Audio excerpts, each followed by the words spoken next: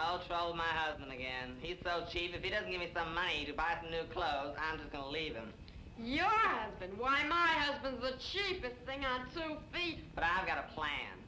If he doesn't give me any money today, I think I'm gonna walk right past the pool room without a stitch of clothing on. Yeah, that sounds like a good idea. I've got news. If it works for you, I'm gonna do the exact same thing. Here he comes now. Hello, baby darling. Don't you call me baby darling, you cheap thing. Honey, though, why, why, why, can you, why should you say I'm cheap? Uh, I just happen to have an impediment in my reach. Money. That's the last thing I think about before going to bed every night. Well, I've got news for you. If you don't give me some money right now to buy some new clothes, I'm gonna walk right past the pool room without a stitch of Honey, you mean to tell me that you'd walk right past I would. With, without a stitch, and shame me in front of all my friends? I would. Well, bet you would at that. Well, I, I just happen to have a few bucks with me, honey. So, let me see. All right. Uh, I just cashed my relief check, see? 1000 2000 3000 What's this $5 bill doing here? See? Now, what are you doing, with my loot? She took it.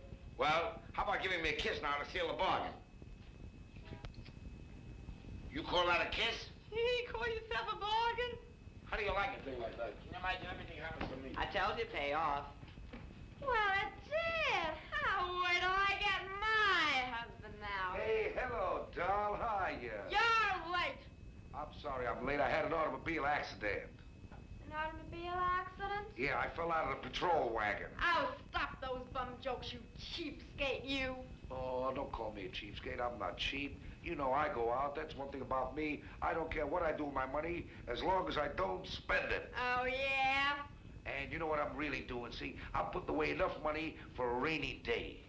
Oh, yeah? Well, how much have you saved? Well, I'll tell you the truth. If it ever rains two days in a row, I'm broke. Broke? You're not broke. You just don't want to give me any money to spend on clothes, that's all. Why, do you know that if you don't give me any money, why, I'm gonna go past that pool room where all your friends seem to congregate and walk there undressed. You gonna walk by the pool in front of all my friends undressed? That's right. Is that what you're gonna do in front of all my friends? Certainly. Well, when you pass the post office, here, mail this letter.